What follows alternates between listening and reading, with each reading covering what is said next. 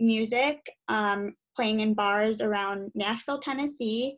And after playing in local drinkeries for several years, Blake worked with his band Buffalo Ford to record an album titled, titled Home and Heart.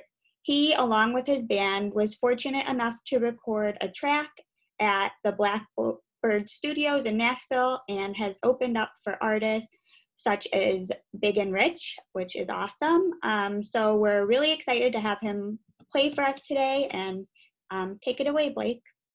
Thank you very much. This song is called um, Happy Illustrated. Hope you enjoy it.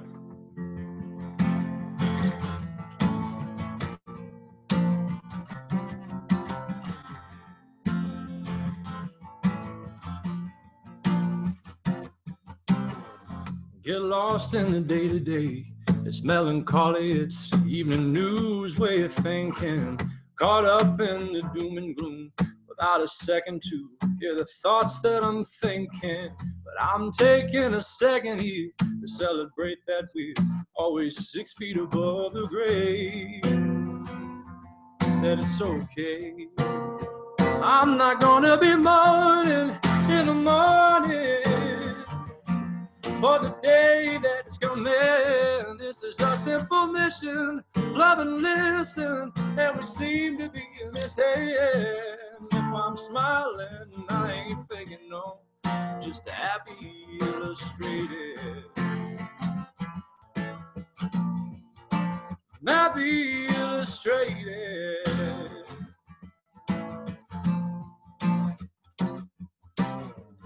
If I could paint a picture to free of your blues, tell me what would be on it. Are you painting Rocky Mountain skies walls way up high? With sunset upon them. So what's keeping you from leaving now? Tell me honest. Is paradise that far away on a sunny day? I'm not gonna be mourning in the morning for the day that is coming. This is our simple mission. Love and listen, and we seem to be missing. If I'm smiling, I ain't faking no, just happy illustrated. Happy illustrated. Yeah. I don't, I don't I don't wanna be mourning. I don't, I don't, I don't wanna be mourning, morning. I don't, I don't, I don't wanna be mourning. I don't, I don't, I don't wanna be mourning, morning. In the evening when the sun goes down, take a look around what does surround you? You looking into youthful eyes, walls way up high. It's work to surround you. Just know that we've a common goal to feed a simple soul. Say at the end of the day, it's gonna be okay. I'm not gonna be mourning in the morning for the day that is coming. This is a simple mission love and listen, and we seem to be in this missing. If I'm smiling, I ain't faking no, just a happy illustrated. Happy illustrated.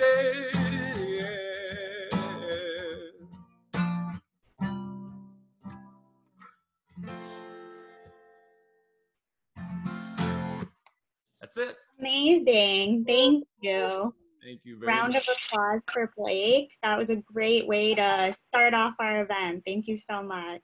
I appreciate it. Appreciate and it. if you want to um, drop any of your social media information in the chat so we can all keep in touch with your future music, that would be uh, awesome too. I don't. Uh, my, I don't even know what my Instagram is to be honest. if you if you if you uh Instagram search Blake Perkins, I don't even know what it is. I'm hardly on social media anymore. But if something You'll get a big following after this event. okay. Well, thank you very much. I appreciate it. Thank you again for performing. That was great. Thank you. Um, next up, we have Katie Bannister. performing some poetry for us. Um, a little bit of background on Katie. She is a speaker, author, poet, actor, and disability educator. With her husband, Steve, she co founded Access for All with a mission to educate and empower people with and without disabilities. Katie has authored Katie's Aunt Katie's Visit, The Personal Care Attendant Guide, A Pocket of Poems, Karmic Validations, and Beauty in the Lou, are collections of songs and poetry.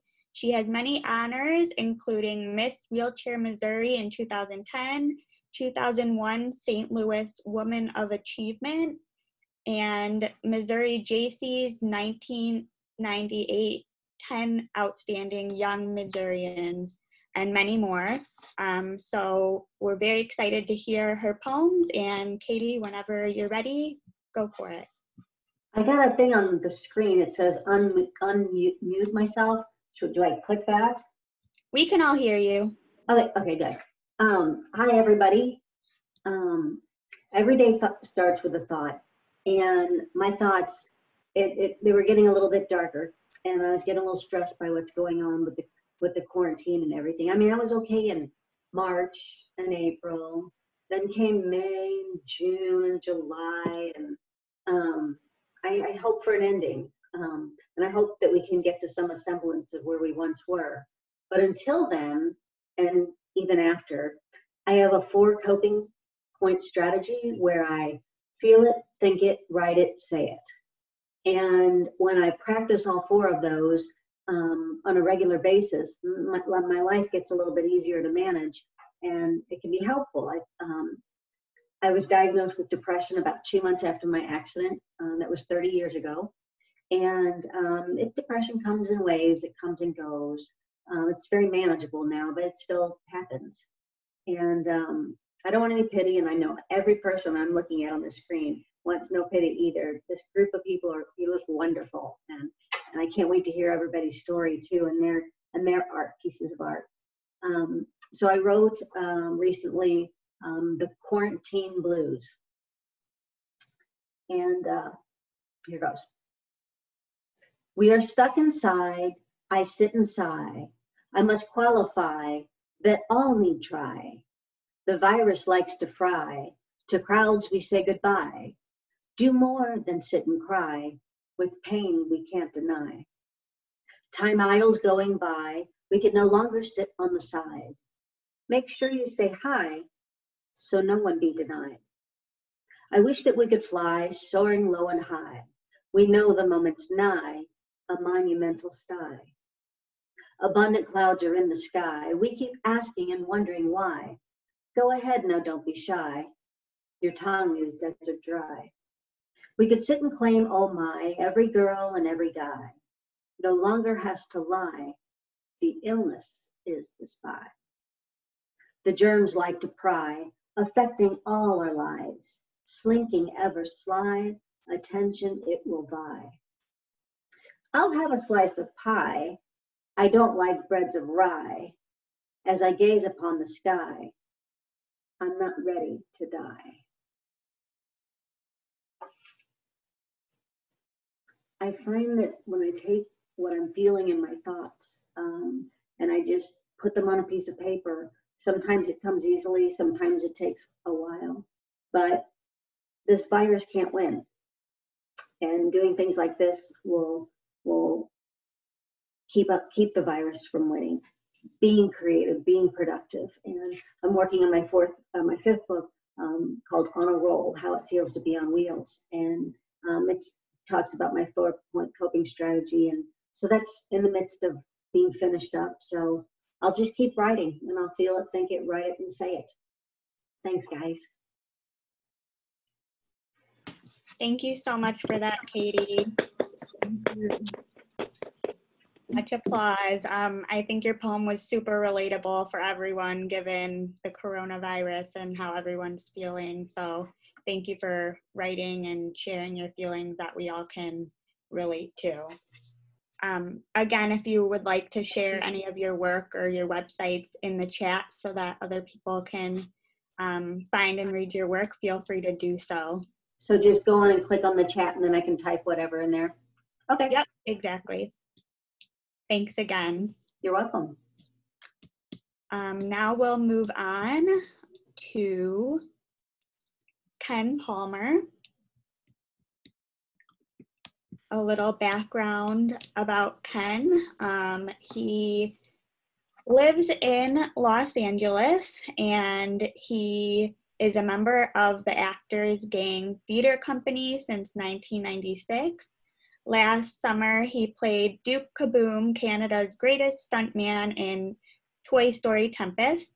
He starred on the TV shows Baskets and No Activity. He is in the band New Mongrels and is part of the Super Broke Superhero Marching Band Ensemble. When his son's elementary school was shut down by the pandemic, they started singing songs and he'll perform an original today.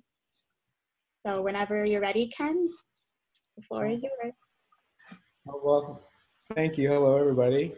Um, yeah, they. Uh, I didn't have anything to say. You know, when the school shut down, um, we were like looking for heroes and hope, and uh, so we just started writing a song. Um, uh, my son uh, accompanied me on the piano, but he's he's not he's not live, I guess. But uh, so he's uh, he's nine, and now he's ten. So, all right, here we go.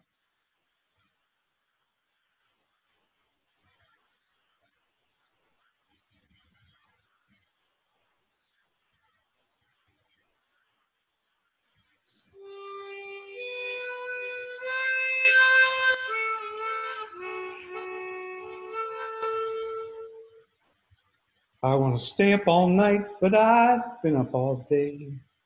Stay up all night, but the bed's in the way. Under the covers, we chose to self quarantine.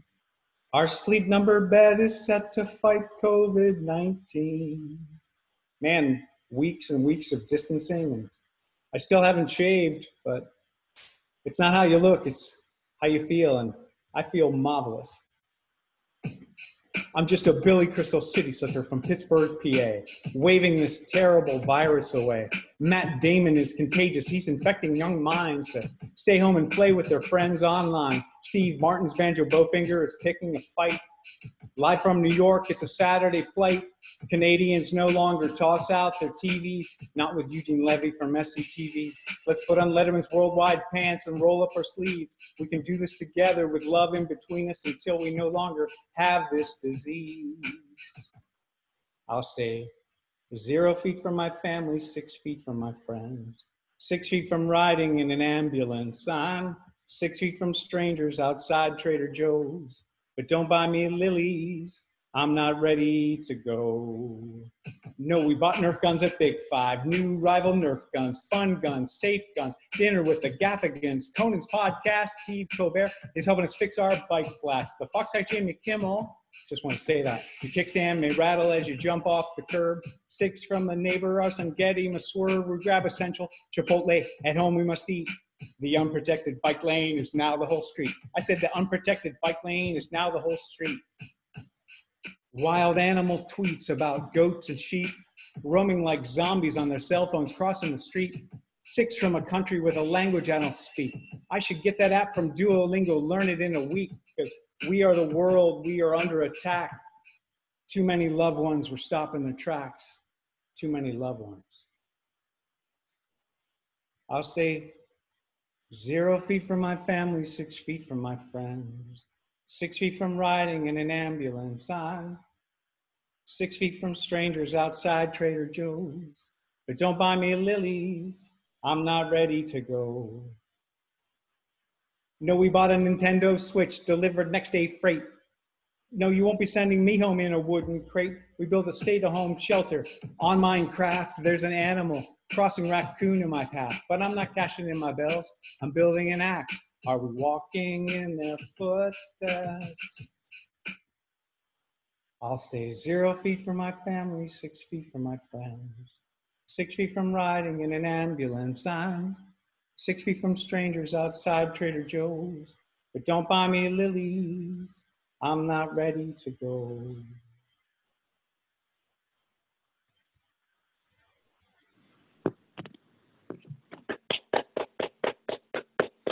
That was great. Yeah, that was awesome. Thank you for sharing. Uh, very unexpected, but in the best way. I loved it. Oh, thank you. Thank you, Ken. Yeah, you're welcome. Um, next up, we have Ashley Olson. A little background about Ashley. At 14, she was paralyzed in a car accident. While that one moment transformed her entire world, it did not dampen her spirit. She never forgot her love for travel, and in 2006, she founded wheelchairtraveling.com to empower people with limited mobility to access the world of leisure and adventure travel. And today she's going to share a story from one of her travel experiences. Yes. When I saw this, I thought it would be a good time to share kind of one of my more crazy travel stories that just recently happened to me in New Zealand. So I was in New Zealand right before everything was was shut down. And I had an absolutely amazing time. I I was pretty much not oblivious to what was going on, but I definitely wasn't as affected compared to the rest of the world being on on lockdown and um, definitely feeling more of the pandemic. Um, I was driving around, had a great time, uh, accomplished everything I wanted to accomplish, which is terrific. And on the second to last day that I was in New Zealand, I had done everything that I needed to do. And I said, okay, I'm going to go to the coast. So I drove to the coast. I just pointed my finger on, on the map, drove to the coast. Wasn't much for me to do there. And so I kind of pointed my finger on the map and I'm like, I'm going to go to this lake right here. And so I put it that in my GPS and started driving to the lake and got to the lake. It was beautiful. Um, it took a while to get to the lake. Um, it was a, a dirt road, um, a dirt and rocky road, um, mainly dirt, you know, packed dirt, you know, just one of these old one lane um, roads. I had been on on these roads quite a bit in New Zealand, so it wasn't anything new. But the road was very, very exceptionally long, and um, so I went there. Uh, didn't spend a lot of time there, um, maybe like an hour or so. And I wanted to get back to the hotel so I could pack, have an early dinner, um, you know, have a good night's sleep so I could wake up the next day to get on my flight and um, I drove home, or sorry, I, am driving back to the hotel. And as I'm driving along, um, there's two cars behind me. So I pull over because it's a one lane road and it's kind of a dirt road. And um, I'm, go- I'm going, you know, the speed limit. So I, I pull over. I let these guys pass and they speed off. And besides them, that was pretty much the only cars that I had seen um, thus far really being on the road it was pretty uh, an isolated area. So I'm driving along and driving along, and then all of a sudden the road curves and and bends to the right. And on that downward slope, the road ceased to have any traction. Um, before that, there was tracks in the road that I was following from previous vehicles um, that you normally see on, on dirt roads. Um, will usually be like a set of trails that, you know, set of tracks that people follow. But when I curved down that this road, the tracks vanished and the road wasn't even gravel rocks. It became just, it was, it was just packed solid rocks. So my car, not having any four wheel drive, started to hydroplane, or excuse me, started to slide. Um, also because of the cross slope a little bit. I was trying to avoid hitting either side of of the road because they had this natural dirt ditch on on either side of the road and i especially was trying to avoid the one to the left because to the left side of me, there was um, a sharp drop um, into a, a low-lying farmland. And next to me was just a hillside. But um, as I would have it, um, my front wheel got stuck in that front ditch. Um, I tried to stay in the middle of the road as best I could, but the car was just so heavy. It was so heavy. I had it for a while, but there's the in the the cross slope. I just you know I fought it as far as I could, and I hit that that divot, and the car went flying into the air, and I was headed down down the ravine um, to this farm valley below, and I, I I shot off and I wasn't scared at the moment. I was just thinking, okay, this is, you know, this is happening. You know, this is this is what's happening right now. And I blacked out for a second. And um, I woke up. The vehicle was faced in the other direction and still rolling. And I remember the car rolling. Um, sorry, I remember seeing um, on the passenger side. Um, the passenger side window was directly above me, and I remember seeing that as I as it was rolling, thinking, "Oh my goodness, I'm going to have to crawl out of the window and get out of this." Um, but luckily, the car kept rolling, and it it rolled upright. So okay, yes, it's upright. Um, I immediately tried to call their 911, but I was out in the middle of nowhere, and so that just didn't work whatsoever. And again, there hadn't been any cars that I had seen at all in a, in a really long while. So I I knew I had to get up to the road. That that was kind of um, the, my first intuition that kind of came through me because I was down at this very low-lying farmland surrounded by all this brush that nobody would be able to see me if a car was even going to drive by. So I, um, you know, first after I stopped rolling, you know, I before I before I called 911, I first, you know, checked to see if I was bleeding or if anything was broken, you know, but everything seemed fine. Um, that I was alive, of course, and um, so I decided that um, you know I needed to you know get up to the road. So I I checked the car to see if it still worked, and it did. The air the airbag did not deploy, and the car worked. And I decided that there had to be a gate somewhere that had to come in and out of, out of this property um, that I could go through because I had actually shot through this um, this metal fence gate, and um, it, it, but going the way that I came through just wasn't an option. So I drove around and drove around the perimeter, and luckily the tires, you know, were okay, and saw where the gate was. It was halfway up a hill, um, you know, up to get to this, you know, up to the main area, and a very very steep hill and so I couldn't stay in the car and just drive next to the gate and undo the latch. I actually had to physically get out of the car in my wheelchair and climb in front of the car um, to, to access it, um, which was really difficult because the ground was like quicksand, um, just super, super soft dirt. So scaling over the front of the car was difficult. And I made it to um, the metal gate, um, which was about uh, each rung was set about maybe like a foot or so apart. Super, super strong and sturdy. Just, I mean, wicked strong. And I was able to basically just like cliffhanger style, just like one rung at a time, scale up this fence and reach the latch, which I'm so grateful that I was able to do because I was at you know, I was right at that that latch point where I just needed just a quarter of an inch more just to reach it, and it was just, you know, I just prayed and I'm I'm like this I have to reach it. There's just nothing else that I can do. Like I have to open this this gate. So somehow my arm has to just stretch. I have to be able to open it. And so I get it to to open and the latch the door comes flying back at me and almost knocks me out of my wheelchair and it doesn't. Um, but then I scale back down the, the metal fence. Um, but again, the ground's so soft that it actually sinks my back wheels and it kind of knocks me out of my wheelchair backwards.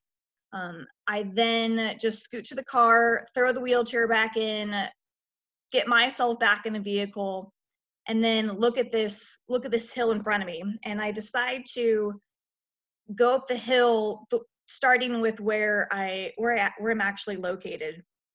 Um, I, it wasn't the best angle but i decided okay i'm just going to try it from here just to see.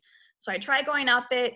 Um, don't get very far. The car starts spinning and smoking. So i'm like okay stop. So I, I go back down move over to the area that i thought would be the best way for me to get up you know, say a little prayer and gun it. And I get about, you know, 70% up the hill and the car starts spinning and smoking really, really bad.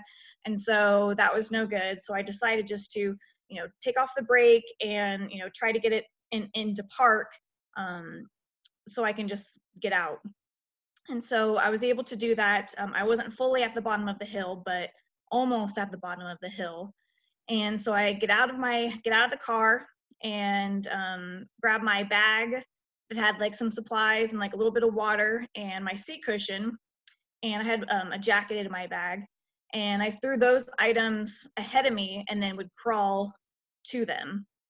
And then I and then I basically got to, you know, I was on this, you know, ravine slope, which was very, very the, the ground was very, very loose with with dirt, but I was so incredibly grateful that um, there was a lot of grass. New Zealand has incredible grass, like just super, super long and flowing and very, very deeply rooted into the earth.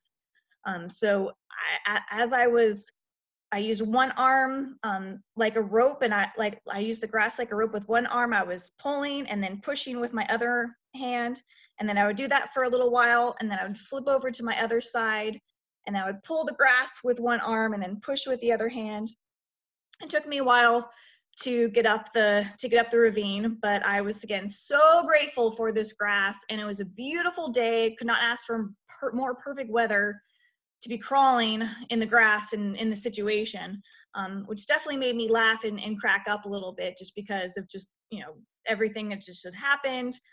I was just so amazed that everything had just gone as well as it had up to this point. So i was just so incredibly grateful you know and i was just saying, you know, like, thank you, New Zealand, like, thank you, New Zealand grass, like, I, I love you. And um, I, I crawled up the ravine, like I said, which took a while, get up to the top, and then I take a little break and I and I flip around and I stare at the sky and I see two hawks that are are soaring above me. And um, in my accident that that paralyzed me when I was 14, um, my dad was killed from it, and he often he, he reminds me of a hawk. Whenever I see a hawk, I have this very strong connection with hawks, um, with his energy. And so um, when I saw it, when I saw these two hawks, um, I just, you know, had this wonderful feeling of my dad that came over me, and I just kind of laughed. I'm just like, okay, dad, you know, like I, you know, I did all this, like I climbed over the ravine, like I got to this point, and I'm ready to be rescued now. Like I think I'm good, you know, like I'm good but I'm not completely out of the woods yet because I'm on top of this ravine, but I still have this big ass meadow that I still have to crawl across. So I start crawling across this meadow, and I have to do that because the grass is so tall, and there's a barn right in front of me, and also shrubs. So if a car were to drive by, there was such a narrow window um, that, that I would be seen. Um, they would have to be looking super directly down this narrow passageway for somebody in the grass um, in order to see me that I knew I had to get to the road. Um, I was also grateful seeing the barn, and there was also a shed nearby that um, I knew if I needed to spend there, you know, spend the night there, um, that was going to be a possibility. So I would have shelter. It was excellent weather. I wasn't really worried about that. Um, I was also mentally preparing myself to actually climb, um, start crawling down the road if need be the next day. So I'm crawling along the meadow and um again, you know, like just in like, yep, ready to be rescued, you know. But again, I haven't seen a car yet, like since those two cars that passed me in the very, very, very beginning. And so I'm just looking for, you know, listening for a car, listening for a car, and finally I hear a car, and so I just start screaming for help. Um, which for the record, I did say help a few times on the journey, just in case there was a random farmer or person in the area that you know happened to hear me but i was really out in the middle of nowhere um, farm country And so luckily this car honked. They heard me, um, pulled over the side of the road, and these four people came running out um, from the vehicle. And as they're running, I felt a little concerned because, you know, here I was just laying on the ground. Um, I didn't want them to think that I was more injured than I was. And so I just screamed to them as they're running forward. I'm like, I'm okay. I'm paralyzed, but I'm okay. I've been paralyzed for 20 years. I'm just not standing up right now, and that's why. and so they came running over, and they were um, government workers that were out um, measuring pond scum. So they were just out doing some research. And luckily, they were out there doing that, and uh, they found me, picked me up, um, got back to the hotel, um, had, had the gal who um, owned and operated the hotel, who was absolutely wonderful. She helped me tremendously, you know, just calling the farmer and, you know, talking to people like for insurance and whatnot, which I had, um, you know, the best insurance for my car rental and handed over the keys. The farmer had actually already towed the car up to the road so the people could collect it even the next day. Um, went to the doctor. The doctor was just like, yep, you're perfectly fine. You're good to go. You can get on a flight. And the next day, that's what I did. and that's my story. Wow, that's quite an experience. I I admire your perseverance. I don't I don't know what I would have done in that situation. Um, but I, I think we're all a little nostalgic for travel right now. So thank you for sharing that with us all. I appreciate it. Yeah, I just I guess I wanted to I mean, I wanted to share just because I know we've we've persevered through so much, and I guess I feel like this is just another reminder that we will persevere through this, and we will out we will go out again in the world. We're gonna have adventures. Don't know exactly what that's gonna look like, but I guarantee you, we'll we'll travel and have adventures and have some fun. Definitely, I love your outlook. Thank you again for sharing. Um, up next, we have Marlena Willis. She um, deals with PTSD, bipolar, and Lyme disease. They lead a class in nonviolent communication over the phone for people with chronic illness and disability. They are part of a radio show on KPFA called Talk It Out Radio, which is about bringing the tools of nonviolent communication and meditation to social justice work. And they will be sharing some poems with us today. Thank you. So I'm going to share three poems. The first is called Bipolar. In dreams, I would fly, sometimes peeking in the windows at sleeping neighbors dogs nipping at my heels. Other times I faced huge cliffs and doubt, but much to my amazement, I still could fly. I would try to share this gift with others, but their disbelief would weigh them down. Also, in dreams, it would be dark and I would be running, and the floor would collapse. I would fall into the basement below. I would get up and run again once more. The floor would collapse and I would fall into a deeper basement, on and on, deeper and deeper until there was no floor, only free fall. I love the view from high on top of a mountain, the vistas, the visions. I also love finding treasures deep in the earth of my being. I have soared high, grand le- leaps to save myself and the world. I have crashed under the rocks below and curled up into a hole in the earth to heal and found gold amongst the dirt and rocks. Healing me from the horror of my wounds, they gave me medicine. I found myself on a vast, treeless plain. On and on I plodded, barely able to walk. So they shifted the dose from a dollop to a dash now I am in rolling hills, oak trees and grass. I missed the heights, I missed the depths. Through the rolling hills, I learned to walk step by step, but I still yearn to learn to fly. That's my poem about bipolar. And the next one is called In Sickness and Joy, and it's dedicated to Kaylin, who you'll realize who that is in a minute. When I hang out with someone I love, I find myself absorbing a bit of who she is. I find I notice and want to chase squirrels.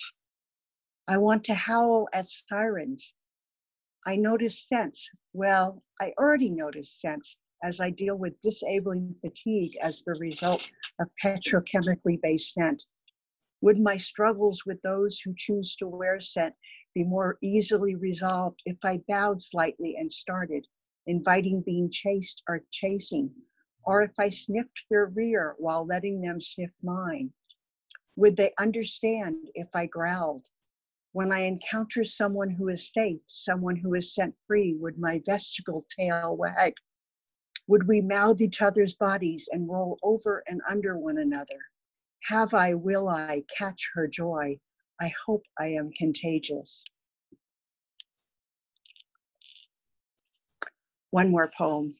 This has some similarities to the first one, so I guess that's a theme, but you'll see it's a little different. It's called Fatigue.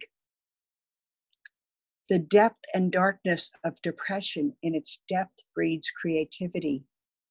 Facing death can inspire transformation, and the death itself is transformation. But the fatigue of chronic illness is infertile, like a treeless plain that goes on and on. No pretty picture postcards to send to friends. Even the small slopes of energy are filled with the rubble of past deeds undone. Invisible bars lock us into simple lives of survival who wants to hear about this? Who wants to read a poem about this? Yet we long to be seen and heard for what our lives are like, to be noticed for the small acts of courage when we are grateful for some little thing or when we can introduce a little humor into another painful reality.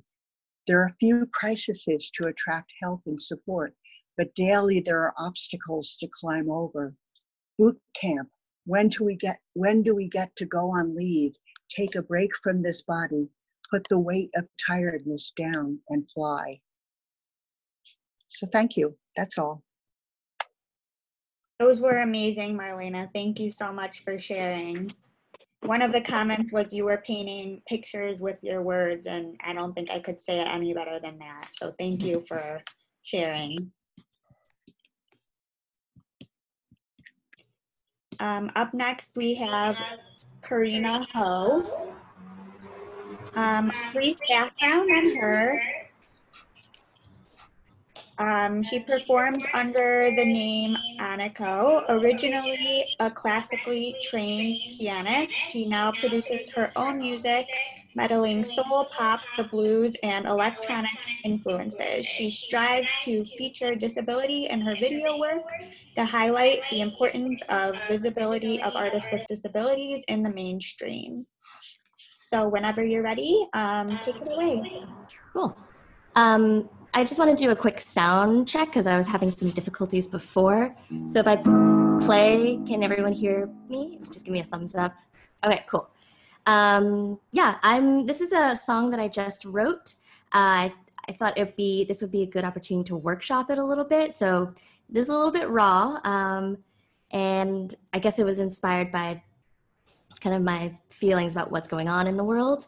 Um, I do have a cat on my lap she might jump up and oh, be annoying. But this is a untitled song. Um, eventually, it'll probably be built a little bit more electronically, which is typically what I do with my music. And um, oh, I guess something that may might be interesting to some people in this in this um, group is I used to dance with Axis Dance Company, which is an integrated dance company uh, has people with and without disabilities. And so in my video work, I tried to integrate and show different kinds of bodies and uh, just figure for for this group that that might be nice to see. Anyways, okay, here we go. Sing, burn, at the hands of a madman. We hold ourselves to the day at the coldest hour. I've climbed higher peaks in isolation to ask myself how it feels to be free. And the world will never change, but nothing is the same at all. What came over you to ignore all the signals? With our eyes wide open, dark. His love for all the rituals overcame him. The armor that she gives is his prison cell, and the world will never change, but nothing is the same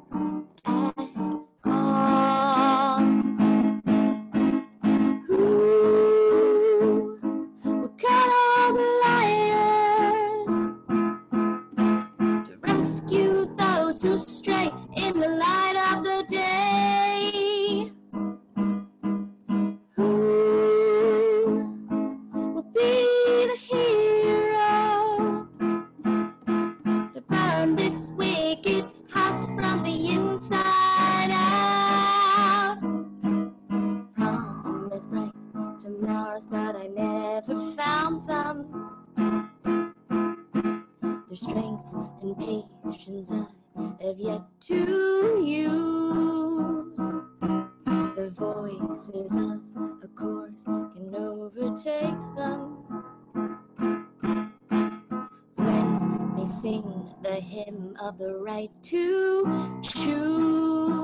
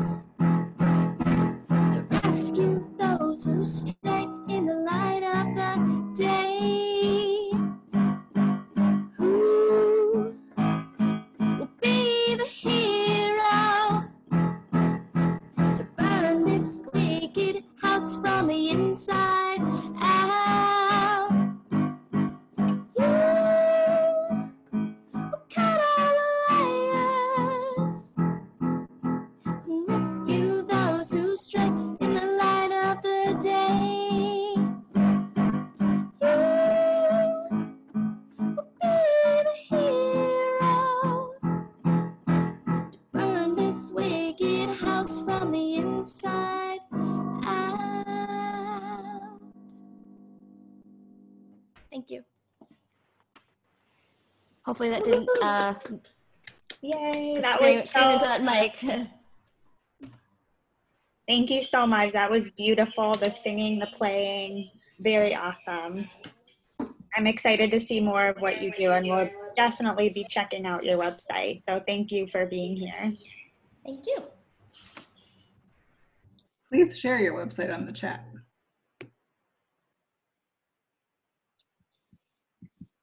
Wonderful. Well, this has been so inspiring so far. Um, moving on, we have Eli Ramos. Um, he was a student at U Albany and a musician in the jam, jam band scene. He sustained a spinal cord injury in 2012 from a faulty balcony. He graduated from City College of New York with a degree in international relations and currently works for the Mayor's Office for People with Disabilities, as well as in a startup company creating adaptive tools called Level the Curve. Prior to COVID, Eli was performing poetry at open mics and Spanish Harlem. So whenever you're ready, we'd love to hear from you. Well, thank you, everybody.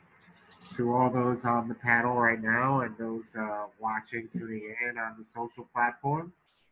Uh, coming to you live from New York. Uh, we were hit especially hard by this thing. Um, I hadn't left my house for, for two months actually until the first time. Uh, and even then, it was just for essentials, you know. Uh, we were just hit very hard. At one point, we were the epicenter. So to, to see the other light, uh, the light at the end of the tunnel, so to speak, now as New Yorkers, you know, we're, we're able to sort of get out there a little more because we, again, just tried our best to follow the rules and whatever they were telling us at the time. And we're doing a lot better now. So sending a lot of love from New York to the rest of you all. Um, we'll, we'll, all get through this together. Um, having said that, again, I'm a New Yorker. Uh, I ride the train every day to get to work, which uh, is interesting to do in a wheelchair during rush hour. But nonetheless, uh, I, I seem to make it work. Um, and I get two types of reactions when I'm on the train. Um, as a person with a disability, and I guess partly as a person with color as well, you know, it's either an intense stare, right, or complete disregard. There's never really a middle ground. Um, so I wrote I wrote a poem about a, an experience in particular I had on the train one morning.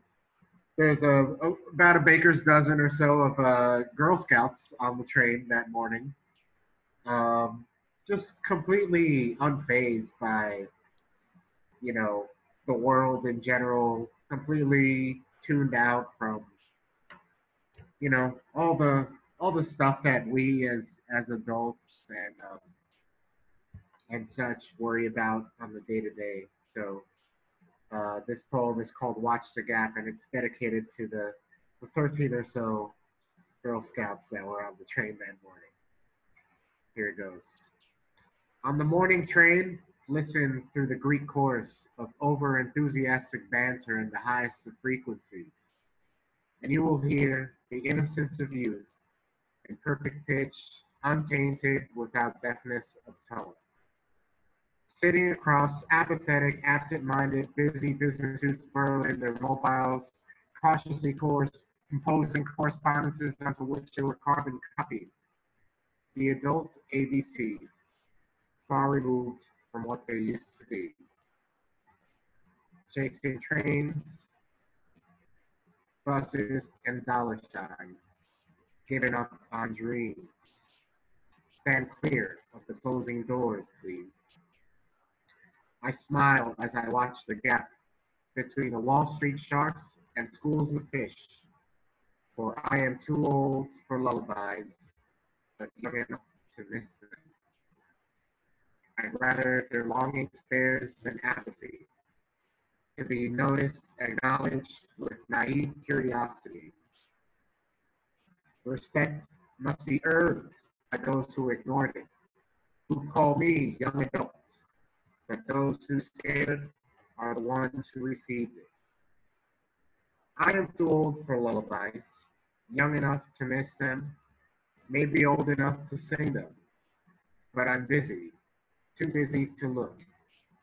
Besides, I was told it was impolite to stare. Young adults, what silly little phrase.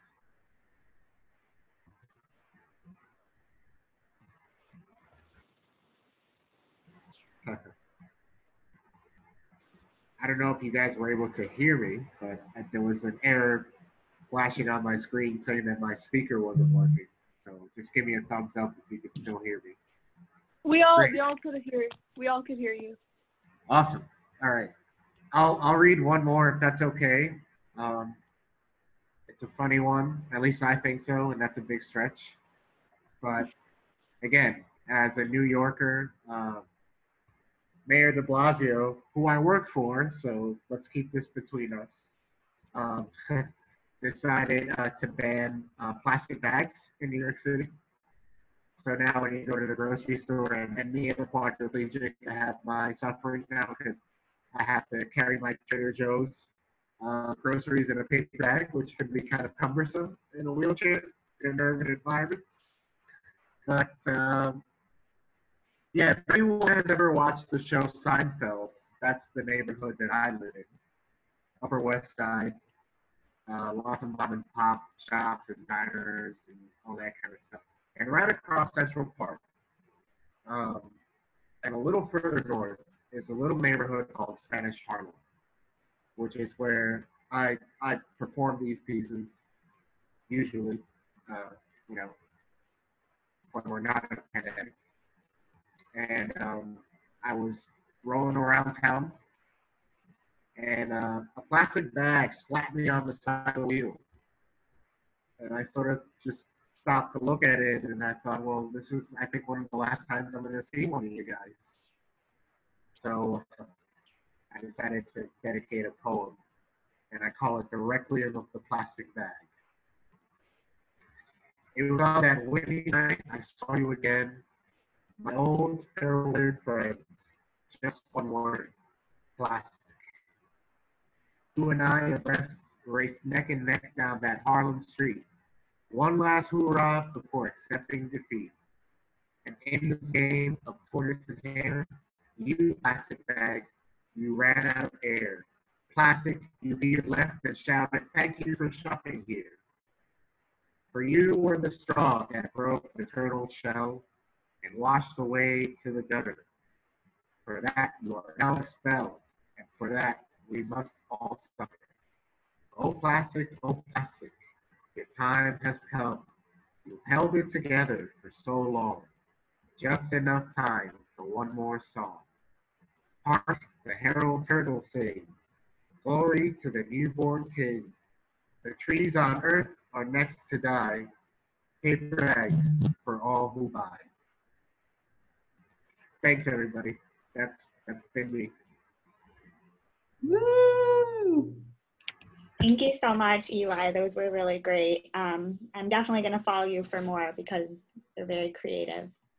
Oh, thank you. I appreciate it. I'll drop some social media in the chat. Please do. Um, up next, we have Sophie Dunner. She is a joyful 17 year old from New York City and enjoys singing and has been taking voice lessons for about three years. She's a senior at New York City Lab School and is also a member of the Lab Theater Club where she enjoys performing songs from Broadway musicals.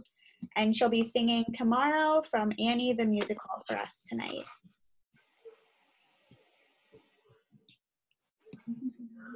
Hi. Hi. I'm Sophie Dinner.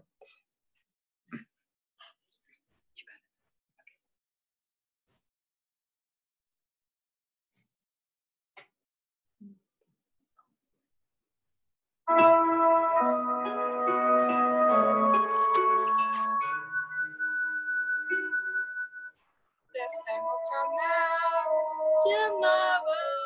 but you bottom dollar that tomorrow there'll be time. Just think about tomorrow with the way the color then tomorrow. The other night, when I'm stuck with a girl that's straight and all day, I just stick out my chest and oh, will come out so you gotta hang on. Come one day, tomorrow, tomorrow, I love you, tomorrow,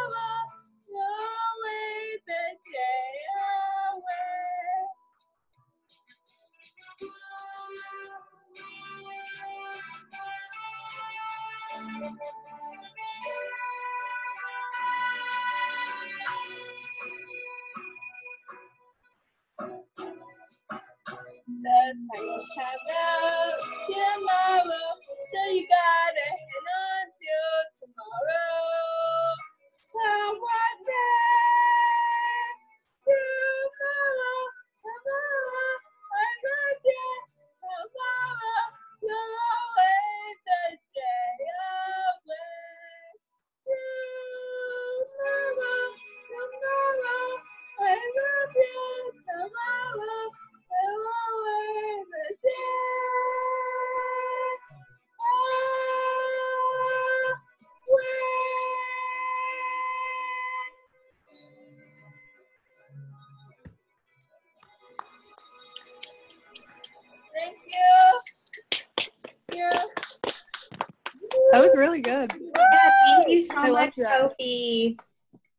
beautiful. Keep singing. That was that was really great. Thank you for sharing that with us.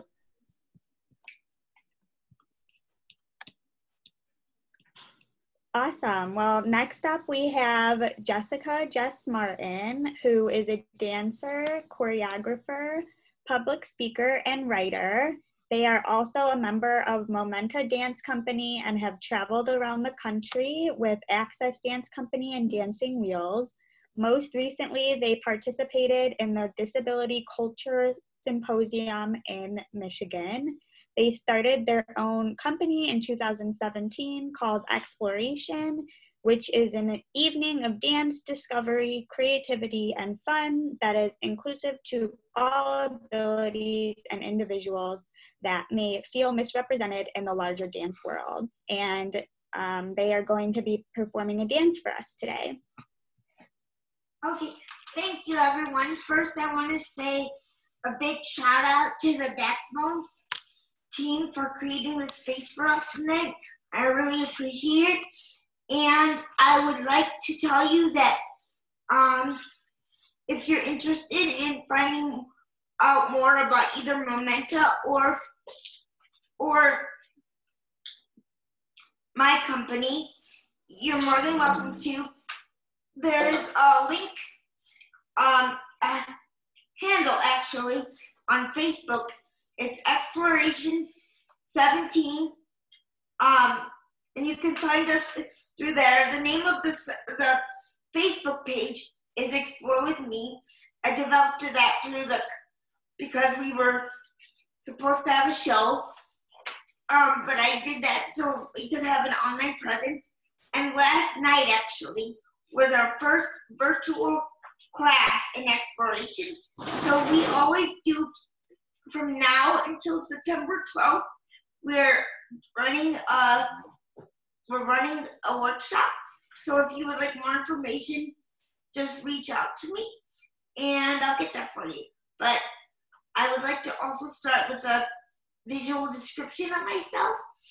Um, I'm wearing black pants and I'm also have my hair up in a bun with a bright silver top and um, a very decorative um, chair. I also have a face painting of a rainbow and a star um, on my forehead because the name of my piece tonight is going to be uh, Reach for the Stars. Without further ado, on one second, I'll be right there. I just did.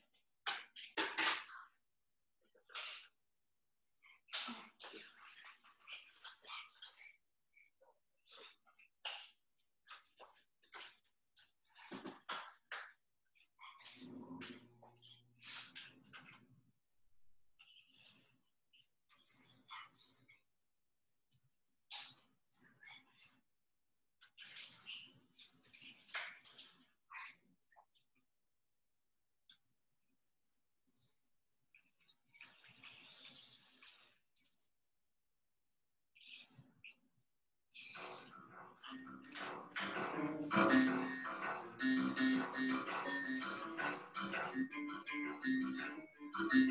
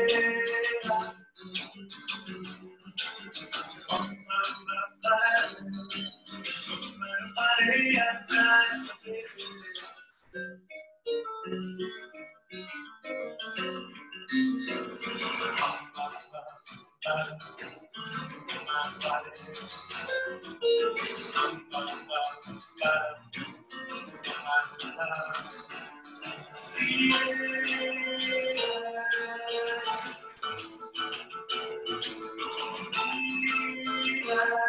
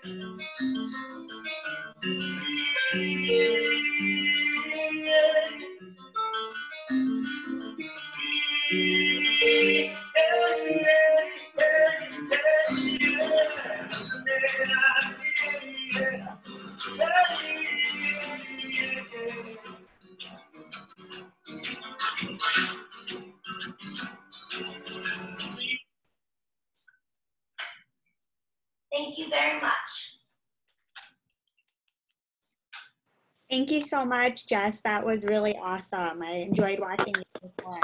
You're very creative, and I love the whole look too. Thank you. Well, last but not least, we have one performance left, and it's by Esther Lee. Esther is an attorney with a disability affecting her speech and mobility, but not her spirit. She graduated from the University of California Davis School of Law with a focus on civil rights and public interest law. In addition to being an attorney, she's starting a nonprofit housing cooperative for people with and without disabilities called Able Community and will be performing poems for us today.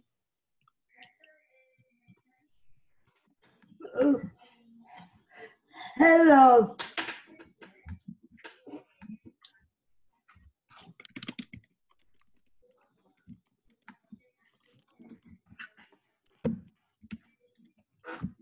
One.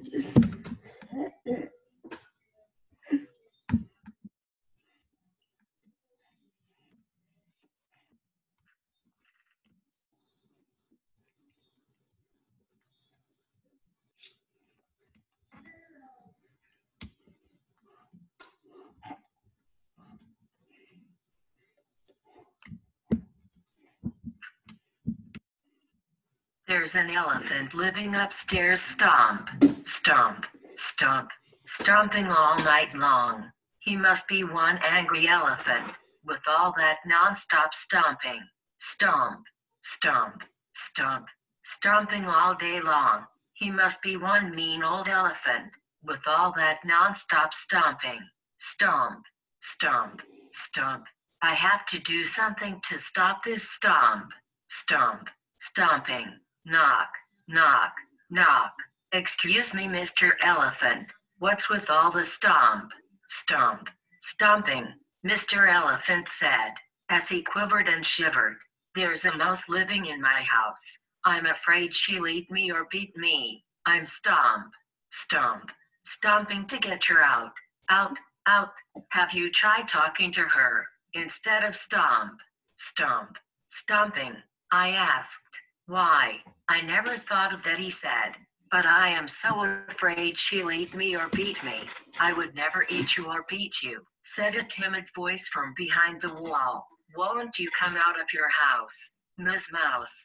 Miss Mouse quivered and shivered, saying, I'm afraid of all that stomp, stomp, stomping, and that he would stomp, stomp, stomp me to death.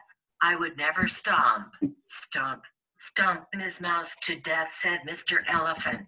When Miss Mouse came out, quivering and shivering, she saw Mr. Elephant was just a baby elephant, and Mr. Elephant saw how nice Miss Mouse really was. We all became friends, having cheese and peanut tea parties, and the nonstop stomp, stomp, stomping stopped, stopped, stopped ever since. The next three poems are from a collection of poetry I'm working on called Searching for Kadesh.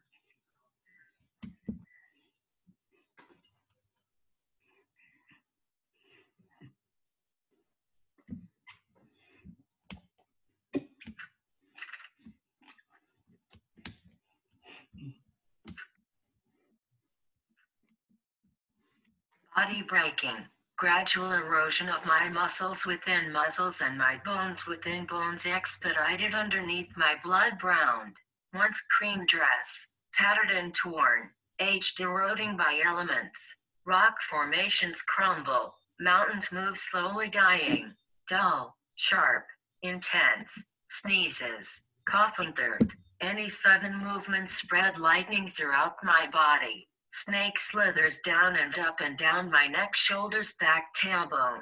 Wreaking war, wrecking, deprecating flesh. Cold wind enters my bones. Coldness sticks. Stiffness stays inside. Thunder lighting Moses' entrance. Outside heat helps relax, relieving tight hurts. Hard hurts. Soft hurts. Bark digging my back, doesn't find what it's looking for. Sharp, intense, dull, heaviness deep inside my back, below my neck, inside my shoulder, where bone meets bone. Bruises blue black beaten under the Red Sea, thunder lighting Moses' exit, resting uneasy uncomfortableness. Knife cuts me inside out. Intense, dull, sharp. Why not end my misery? Is this prolonged torture humane? Monstra, monstra, monstra. Hmm. That's what people call us. Monstra, monstra. They point at us and stare. Monstra, monstra. They dare not be seen with us, monstra, monstra, or even look us in the eye. Monstra, monstra. I bet they go home and snicker. Monstra, monstra using us to warn their young monstra. Monstra is how not to live their lives. Monstra, monstra. Who cares what they think? Monstra, monstra. Let them look at us and stare. Monstra, monstra. Let them go home and snicker. Who are the real monstra? Monstra living within their souls. Star, a silver sliver speck in the early night sky, fading pale blue. Constant presence above the clouds, busy gliding away. The smallest glimpse glimmering of hope. Thank you.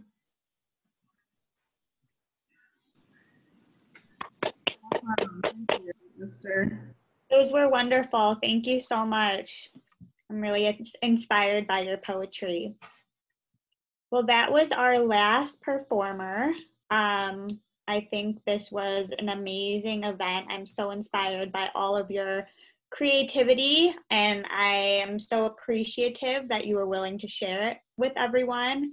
Um, I think the showcase showed how um, strong and amazing the disability community really is. Um, so thank you all for being a part of our first open mic event, and I hope that there's many more. Um, I don't want to take too much more of your time just because we are a little bit over, but Backbones does have um, upcoming events, so you can check us out on backbonesonline.com. And if you have any questions or would like to get in touch, you could email me or Rebecca, and we would be happy to answer them. Um, Rebecca, do you have anything you'd like to add before we sign off?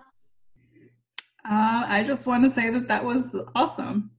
Um, I like I mentioned in the comments, it's just awesome to see um, disability art and culture and such variety in today's performances. Thank you for sharing that with us, um, and we hope to do it again soon if you guys all loved it.